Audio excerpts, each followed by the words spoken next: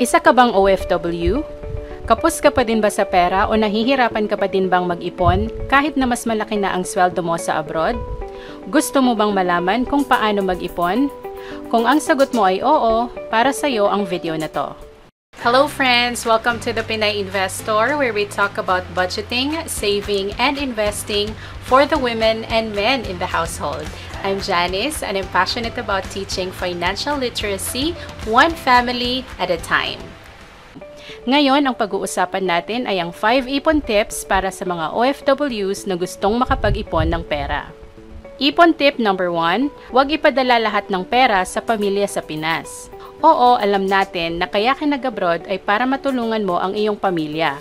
Pero hindi ibig sabihin nito na lahat ng kikitain mo sa pagtatrabaho abroad ay ipapadala mo sa kanila. Magtira ka rin para sa sarili mo at para sa kinabukasan ng pamilya mo. Hindi habang buhay ay magtatrabaho ka sa abroad. Mag-set ka lang ng fixed amount o percentage para sa remittance at turuan mo silang mag-budget at magtipid. Huwag mo silang sanayin na kada hingi, ibibigay mo kagad. Learn to say no kung kinakailangan. Iparamdam mo sa kanila na yung bawat pisong pinapadala mo, katumbas nun yung sakripisyo mo sa pagtatrabaho abroad at pangungulila mo sa mga mahal mo sa buhay na nasa Pilipinas. Kaya dapat pahalagahan nila ang perang pinapadala mo dahil hindi madaling kumita ng pera sa abroad. Kapalit nito ang lungkot at luha na mawalay sa pamilya. Tapos gagastusin lang nila pambili ng mga bagay na hindi naman mahalaga para lang maipakita sa iba na nakakaangat na sa buhay. Alam ko hindi madali ang maging OFW at lalong hindi madali ang mawalay sa pamilya. Kaya huwag mong ipadala lahat ng pera mo. Pay yourself first. Magtabi ka Mag-ipon ka hindi lang para sa sarili mo, kundi para na din sa pamilya mo. Kung makakaipon ka ng mabilis, mas mabilis ka ding makakauwi at makakasama ang mga mahal mo sa buhay. Ipon tip number 2. I-budget mo ng maayos ang pera mo. Alamin mo kung magkano ang kinikita mo kada buwan at ilista mo lahat ng expenses, kagaya ng needs o cost of living mo sa abroad tulad ng food, transpo, house at iba pa, savings, remittance, debt payment, tithing o donation at yung iyong mga wants. Halimbawa, kung ang sahod mo kada buwan ay 30,000 pesos sa currency natin, pwede mong i-budget ng ganito. Needs, 3,000 pesos o 10%. Savings, 7,000 pesos o 23%. Remittance, 10,000 pesos o 33%. Debt payment, 5,000 pesos o 17%. Tithing at donation, 3,000 pesos o 10% at yung wants, 2,000 pesos o 7%.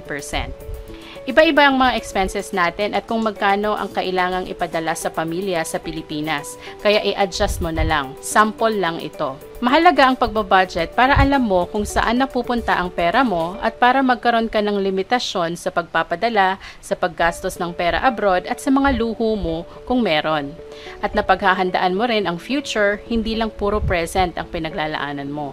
Kasama din sa pagbabudget ang paglilista o pag-track ng expenses mo sa abroad. Dito mo kasi malalaman kung saan ka pwedeng magtipid para mas madami kang maipon. Kung madalas ka mag-order ng pagkain online, pwede mong i-consider na magluto na lang sa bahay para mas tipid. Okay lang naman umorder paminsan-minsan para maiba naman ang kinakain mo, pero wag mo itong gawing habit dahil masisira ang budget mo dito. Ipon tip number 3, mag-open ka ng separate savings account para sa ipon mo. Mas maganda kung bago ka umalis ng Pilipinas, nakapag-open ka na ng savings account at na-enroll mo na sa online banking para mas madaling mag-transfer online pag nasa abroad ka na. Mas okay din kung magsiset up ka ng automatic savings para sa tuwing makakatanggap ka ng sahod, automatic nang nata-transfer sa savings account mo yung ipon mo. Maiiwasan na yung usual na excuse na next sahod na lang ako mag-iipon. Pwede mo din i-consider ang pag-open ng digital o mobile banking apps kagaya ng Netizen which is dedicated for OFWs kasi pwede ito for savings at remittances. Makatutulong din ang paglilista ng mga financial goals mo para may malinaw na direksyon ang savings mo. Halimbawa ng mga financial goals ay sabihin nating emergency fund 50,000 pesos, educational fund para sa iyong mga anak 50,000 pesos, house improvement fund 100,000 pesos, vacation at pasalubong fund 20,000 pesos. Ang total nito ay 220,000 pesos. Kung nakakapag-ipon ka ng 7,000 a month sa loob ng 2 and a half years or 32 months ay mabubuo mo na itong 220,000. Kung madadagdagan mo pa ang ipon mo, halimbawa, gawin mong 10,000 a month, mabubuo mo ang savings goal mo na 220,000 pesos sa loob lang ng 22 months o less than 2 years. At posible pang mabuo mo ito ng mas mabilis kapag inaral mo ang pag invest kung saan mas malaki ang kikitaing interest ng savings o investment mo kumpara sa regular savings account. Pero paalala lang, wag na wag papasok sa anumang investment o business na nangangakong magbibigay ng mabilis at malaking tubo o get rich quick schemes dahil baka umuwi kang luhaan. Invest na pera na, naging bato pa. Kaya aral muna bago invest. Ipon tip number 4, huwag kang mangutang kung hindi naman kailangan. Huwag magpadala sa mga nanghihikayat na mag-loan ka para may malaking pera ka na kagad, pampagawa ng bahay o pambili ng malaking TV o ref ng pamilya sa Pinas. Tandaan, bukod sa perang ni-loan mo, may tubo din ito, kaya imbes na makatipid, napagastos ka palalo. Kung wala namang mahalagang paggagamitan, wag na lang mag-loan o mangutang ng pera. Ipunin mo na lang ang pera para pag nakaipon ka na, mabibili mo na in cash yung gusto mong bilhin. Huwag ka ding makinig sa sinasabi ng iba na mag-loan ka sa SSS o pag-ibig kasi baka iba ang mag-loan. Kung hindi mo naman kailangan, bakit ka pa maglo-loan? Babayaran mo din yan. At kung meron ka namang utang ngayon, sikapin mong mabayaran ito para mabawasan ang mga iniisip mo at makapag-focus ka na sa pag-iipon. Sabi nga sa Proverbs 22.7, The rich rule over the poor, and the borrower is slave to the lender. Huwag kang magpaalipin sa inutangan mo. Bayaran mo lahat ng pagkakautang mo dahil malaking ginhawa pag alam mong wala ka ng utang.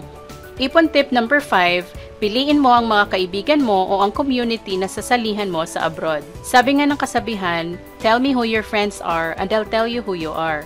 Kung ang mga kaibigan mo sa abroad ay mahilig mag-shopping, maluho sa pera, mabisyo at walang malinaw na direksyon sa buhay, baka maging katulad ka din nila. Kaya try to stick to people who share the same values. Yung marunong maghawak ng pera, may pagpapahalaga sa pamilya at higit sa lahat, mapagmahal sa Diyos. Sila yung mga taong susuportahan ka sa mga financial goals mo at i-encourage ka na magsumikap at mag-ipon para matupad ang mga pangarap mo. Alam ko, mahirap labanan ang pagka-homesick at boredom abroad, pero hindi dapat ito maging dahilan para magpadala ka sa peer pressure ng mga kaibigan o katrabaho. Di bali nang masabihan kang kuripot, KJ o walang pakisama, ang mahalaga may napupuntahan ng pera mo at alam mong malapit nang matupad ang mga pangarap mo. Di bali nang wala kang mga mamahaling sapatos o bag, ang mahalaga wala kang utang. At sabi nga ni Mr. Chink Positive na si Mr. Chinkitan, di bali nang walang iPhone, ang mahalaga may ipon. Kung wala kang magawa sa bahay after work or kapag rest day, imbes na lumabas at mag-shopping ng kung ano-ano, use your time productively. Makipag-video call ka sa mga kapamilya mo. Kung may mga anak kang nag-aaral, turuan mo sila o tulungan sa kanilang mga assignments para kahit malayo ka, ramdam pa din nila ang presence mo. O kaya naman, learn something new sa internet kagaya ng bagong skill o kaya investing o pagtatayo ng business. Maraming free courses sa eTESDA at mga videos sa YouTube. Mamili ka lang. Pwede ka ding mag-try ng bagong hobby na hindi ganun kamahal kagaya ng pagbe-bake o paggawa ng crafts. Malay mo, maging extra income mo pa ito. At yan ang aking 5 ipon tips para sa ating mga kababayang OFWs.